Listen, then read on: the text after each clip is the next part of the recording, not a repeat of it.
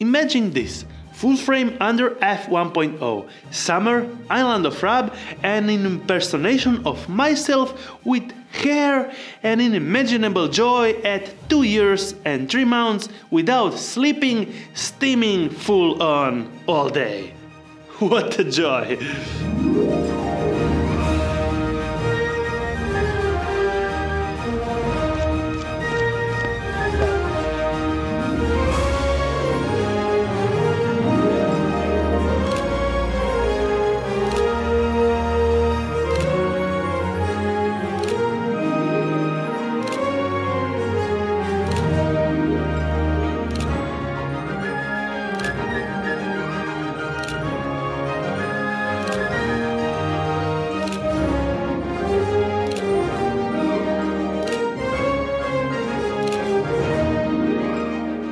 We are here for the in-depth review of the Laowa Argus full frame version 2 35mm f 0.95 and I feel like Kubrick shooting that candlelight scene, lighting up the scene only just with candles.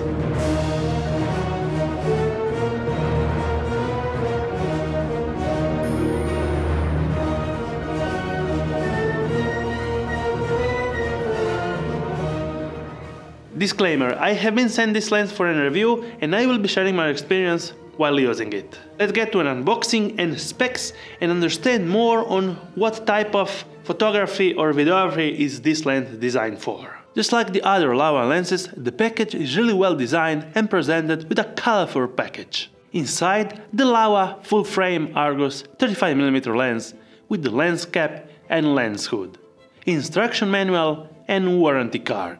This is an ultra-wide f0.95 full-frame 35mm lens with internal focusing design.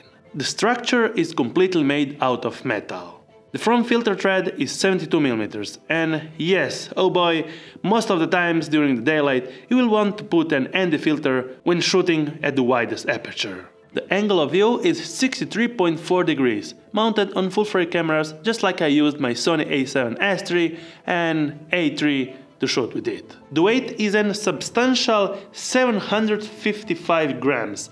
And yes, you have to understand there is a lot of glass inside it and the actual size isn't that big. So basically a good amount of weight ratio that can match up your basically standard mirrorless camera.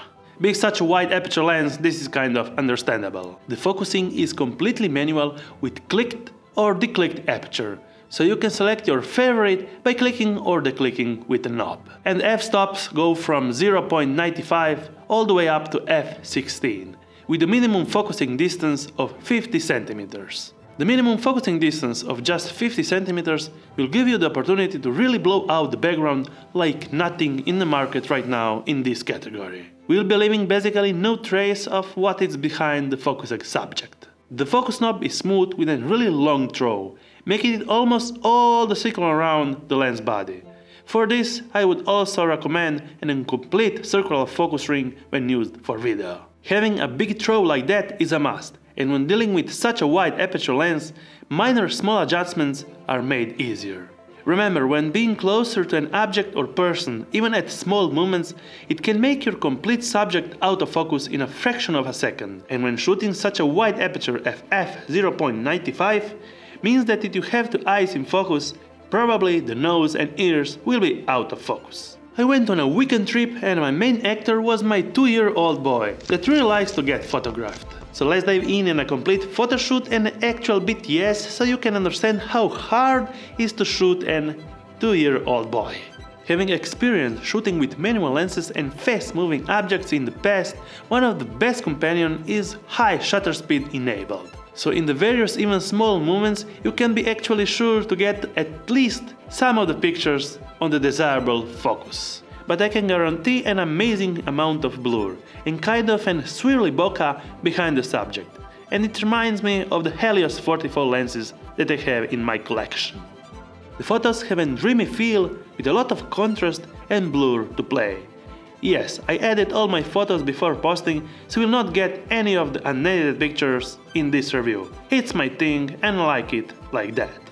Being even a couple of meters from my son, there's still plenty of blur behind it and also in front of it, having just that thin line between the focus parts and autofocus parts. Stopping down to an f1.2 or f1.4 will make you an easy day and getting less blur shots. Even in short close distance like this, my son is just 1 meter or less from the wall, and still you get plenty of blur at f0.95. In video mode I went for a small and portable test scenario where I was trying to catch my son while he throws the rocks into the sea. Shooting at 0.95 on a moving object is quite a challenge, but I was able to get some shots right. For moving scenes, stopping down to f1.4 you will get still plenty of blur, but get actual better results. I have tested also how it looks when stopped down from f0.95 to f16, so you can get the idea of the blur transition.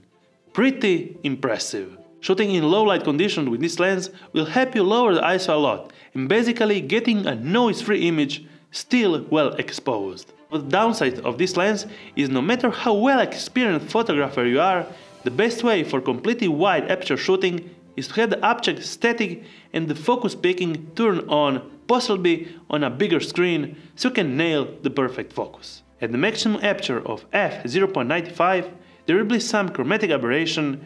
You have to get used also that at f0.95 the lens isn't sharp, because you will have so much of a thin line where the sharpness is, that possibly even one eye is in focus and the other slightly off, if the face isn't pointing straight at you. I would recommend to stop it down to f1.2 or f1.8 for better sharp results and fringing control.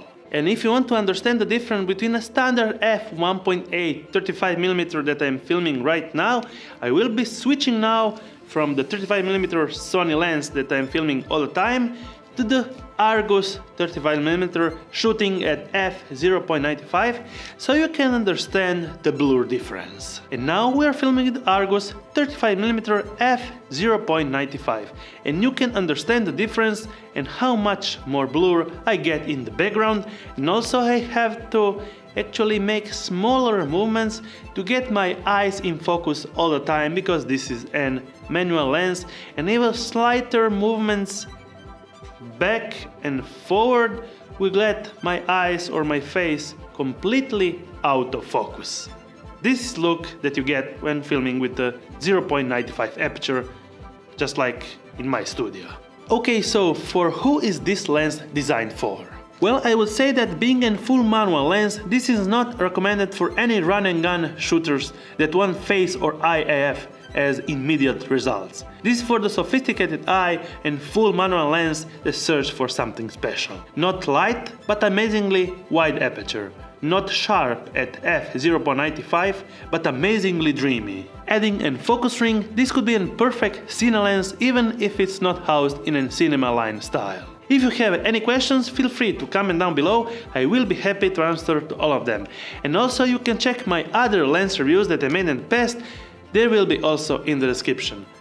Thumbs up if you liked it, subscribe with the bell ring icon to get notified every time I make a new video and see you on my next one.